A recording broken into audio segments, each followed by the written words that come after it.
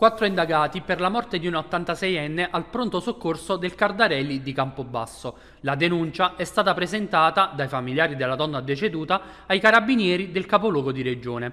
I fatti, emersi solo nelle ultime ore, rivelano che la donna, accompagnata dai figli, era stata portata al pronto soccorso del Cardarelli lo scorso giovedì perché l'86enne lamentava forti dolori addominali. Dopo i primi accertamenti dei medici, la donna era rimasta in attesa di una diagnosi precisa.